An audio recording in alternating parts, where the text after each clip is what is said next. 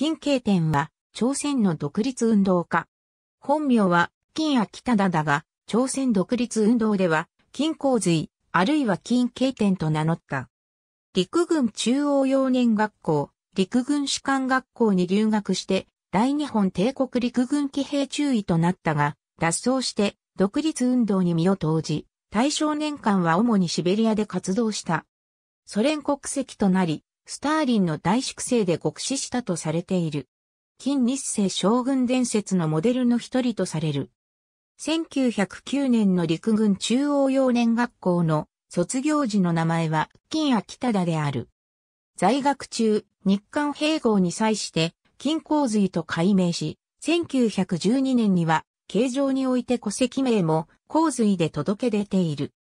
独立運動時代に金慶天と名乗ったため、この変名の方が有名になり、慶天金将軍と呼ばれた。金日成と名乗ったことはないが、陸士54期卒の金定列は、父から金洪水が伝説の金日成将軍だと聞かされていたと語った。金日成が朝鮮民主主義人民共和国に姿を現した時、多くの人々が若すぎると疑問を持ったことについては数々の証言があり、陸軍士官学校に留学していたこと、白馬に乗って独立闘争をしていたこと、金将軍と呼ばれていたことなどから、金日成将軍伝説のモデルの一人であったのではないか、とされている。1888年6月5日、環境南道北青軍神、正優、登り壺里で、金かなえを、父、インタマレンを母として、生を受けた。伊津岡詰の抜子である。本願は、金海金氏で、両藩の内部藩の家柄であり、代々武官を務めて、裕福だったという。慶天の本籍は、官城であり、少年期から藩寸で育った。一族が皆武官で、慶天も軍人を目指した。書店でナポレオン伝を読み、憧れたという。父親の影響もあり、日本留学を志し、慶城学堂に進学した。父のカナエウは、1895年に日本に留学し、慶応義塾、準天9号車、東京工業学校に学び、東京砲兵交渉で銃弾など、武器製造の研修を受けた。帰国後は、大韓帝国軍の高官となっていて、息子を陸軍士官学校留学に送り出したのである。叔父が陸士留学経験者であり、その斡旋もあったと言われる。1909年、慶天は日本留学の一週間前に柳、桂春の娘、劉忠通称ユジョンファと結婚した。妻にピアノを習うことを勧めて単身留学した。東京に留学し、1909年に陸軍中央幼年学校を卒業し、陸軍士官学校第23期生となる。当時、士官学校に留学していた韓国人は、計天一人だったが、陸軍幼年学校には、講師翼や池聖天など、複数の留学生がいた。翌1910年の日韓併合に際しては、全員が衝撃を受け、脱走抗日を口にする者も多かった。経天は講師欲とともに、吸収するべきものを吸収して、時期を見ようと自重を促したという。1911年の5月、士官学校を卒業し、同年に任官。陸軍騎兵学校に進む前後に妻を呼び寄せたものと、見え、二人が設けた次男四女のうち、上の二人の娘は、千葉で生まれている。1919年、慶天は、騎兵第一連隊所属の日本陸軍中尉として、東京にいて、李光主など留日朝鮮人学生たちの2.8、独立宣言に接する。直ちに休暇を取り、祭祀を伴って、京城に帰った。シベリア出兵において、ウラジオストクに上陸する日本軍を描いた作品。スクイロウチ独演西軍画法より京城において、3.1独立運動を目前にした経典は、抗日独立運動への参加を決意し、陸士後輩の池聖天と共に国境を越え、満州へ向かった。とりあえず落ち着いた先は、南満州の新興武官学校である。新興武官学校は、義兵闘争時代から、ある独立運動武装団体の私塾だったが、この前年の共作で閉鎖に近い状態に陥っていた。そこへ各地から優れた人材が集まり、共感となったことで、たちまち数百人の生徒が集まった。その共感の中でも、日本陸軍の現役将校だった慶天と晴天の名声は高く、旧大艦艇国軍艦学校出身の将校だった猿東天と共に何万の三点と称えられた。しかし、慶天が教官を務めた期間は半年ほどだった。1920年の初めには、ハルビンにいて、ウラジオストクの抗日同士と連絡を取っていたことが、日本側の探索資料に見える。慶天は、独立運動の部隊をシベリアに移した。第一次世界大戦の最中、1917年に勃発したロシア革命により、当時のシベリアは混乱状態にあった。10月革命後、フランスとイギリスの介入で、シベリアにいたチェコ軍団が白軍に加担し、その救援ということで、日本を中心とする連合国がシベリア出兵を行っていたのである。しかし、大戦の終結に伴って、チェコ軍団は戦闘を停止し、白軍は劣勢となって日本を除く連合国は撤兵を決めていた。沿海州を中心にシベリアには高麗人が多かったが、ロシア国籍を持つ移民ばかりではなく、抗日を志して運動を繰り広げる亡命者も多数いた。そのリーダー格のリアズマヒカリが上海臨時政府の国務総理になっていて、レーニンの民族自決論に共鳴していた。K 点がシベリアに移った時期には、レーニンに資金援助を求める指針が決定され、在満州、シベリアの抗日朝鮮人集団は、赤軍に加担する運びとなっていく。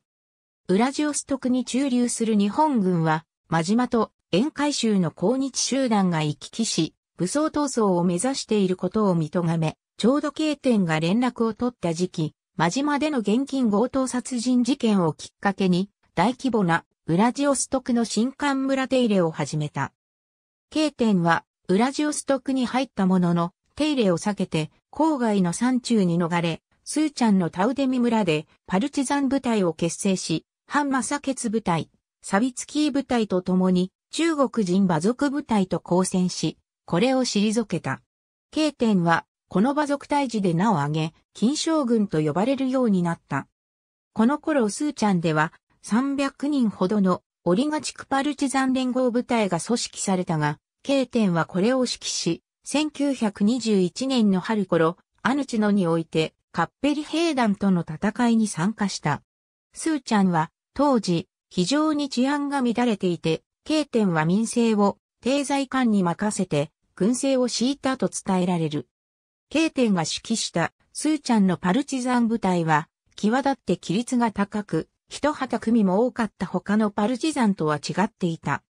赤軍指導者も、朝鮮人部隊は、規律、大義への先進と敬愛の模範を示していた。朝鮮人の間では規律への不服従、命令不履行、ましてや泥酔といったケースを我々は知らないと絶賛した。ところで、以前からウスリースクの近郊に地盤を置く朝鮮人武装団体の結成団があったが、これが中心となってパルチザンが結集し、1921年の初め、頃には、スーチャン高来義兵団が結成された。K 点は司令官として招かれ、相当数の兵力を率いることとなった。この頃から、K 点は、洪水の名で、日本側の探索資料にも登場するようになるが、それによれば、1922年半ば頃には、およそ600人を率いていた。1921年から1922年にかけて、K 点は主に、イマン近辺を舞台に、赤軍に協力して、白軍と戦闘を繰り広げた。1922年の夏には、沿海州革命軍事委員会が、K 点をポシェト軍クパルチザン連合部隊長に任命したとも言う。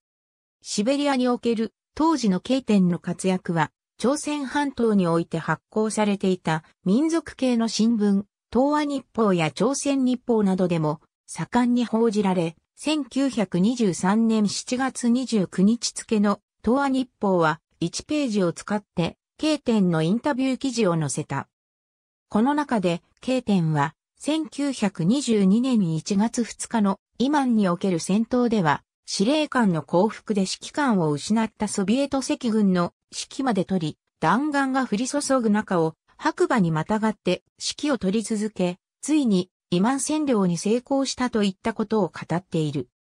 1920年代、朝鮮半島の新聞史上で最も多く報じられた独立運動家は、経点であり、インタビュー記事まで載ったのは彼一人だという。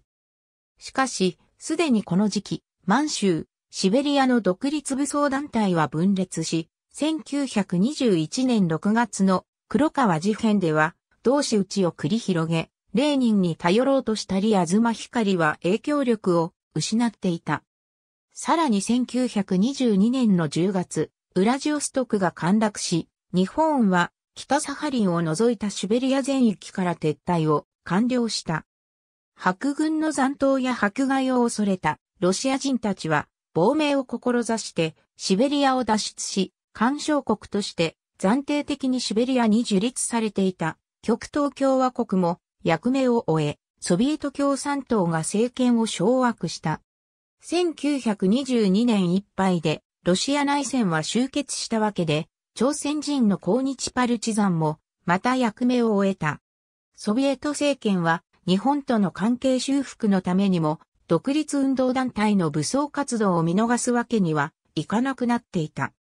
K 点は武装独立闘争の継続を願って、1923年1月3日より上海で行われた大韓民国臨時政府の国民代表会議に出席した。しかし、指導者の対立で臨時政府は分裂崩壊し、シベリアの高麗共産党を中心とした勢力のみが残って朝鮮共和国を名乗る組織となった。その国務委員には池政天がいて、K 点もこれを支持していたとみられる。1923年8月末、朝鮮共和国の組織はソ連政府の庇護を期待してウラジオストクへ移り、独立宣言を発してコミンテルンの承認を待った。翌1924年、コミンテルンは稲承認の回答を出し、国外退去を迫って組織は試算した。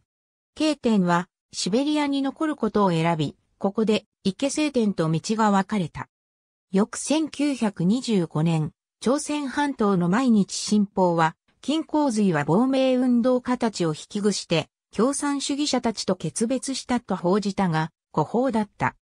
武装独立運動の夢を捨てきれなかった経典は、宴会収穫地で軍事指導を務める一方、武漢学校の設立を画策し、ウラジオストク艦族軍人クラブを組織したりもした。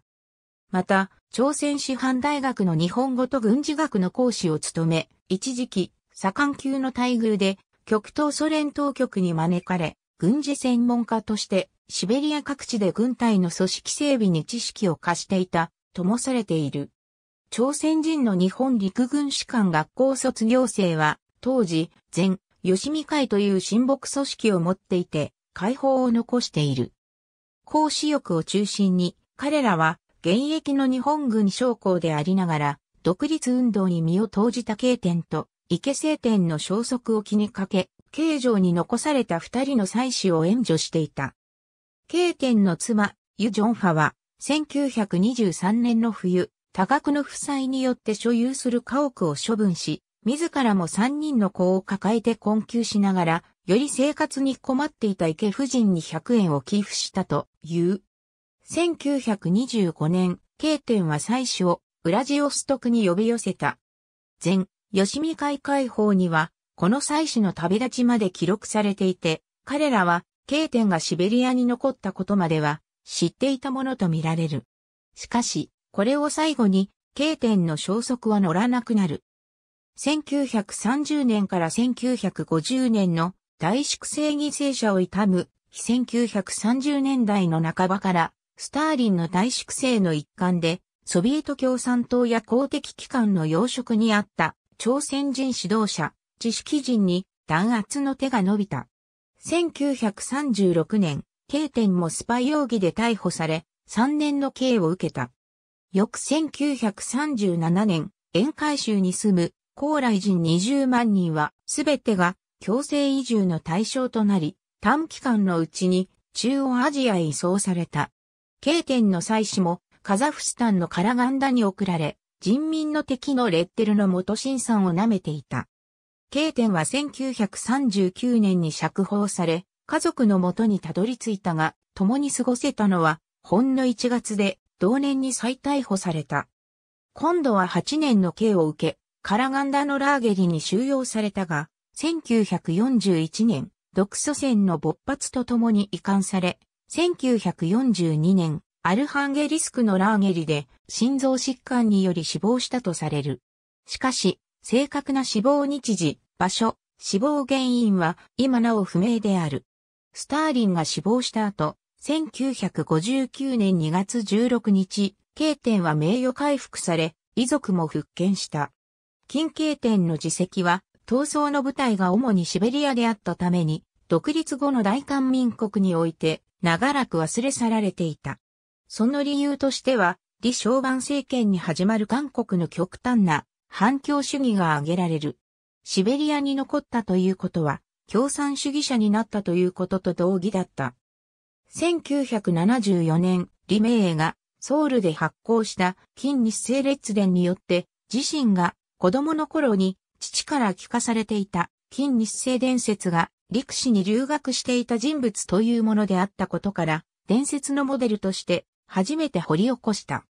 しかし、当時の韓国はソ連と外交関係がなく、また反共的な価値判断もあって、シベリア残留は考慮されず、1920年代後半以降の消息は不明とされていた。1982年、北朝鮮からソ連へ亡命した京誠が、林委員というペンネームで書いた、北朝鮮王朝成立非シー金日清正伝が東京で出版された。ここでソ連にいた高麗人たちの著作や証言によって、経典がソ連に泊まり、大粛清の犠牲になったことが明らかにされたが、当時のソ連は高麗人が自由に口を聞ける状況になく、粛清に関しての情報は正確さを書いていた。また、韓国において、広範な関心が寄せられることもなかった。状況が変わったのは、1990年、韓国とソ連の国交回復以降である。その翌年に、ソ連が崩壊して、韓国と中央アジアの高麗人との交流が活発になり、高麗人の独立運動家が韓国で注目されるようになった。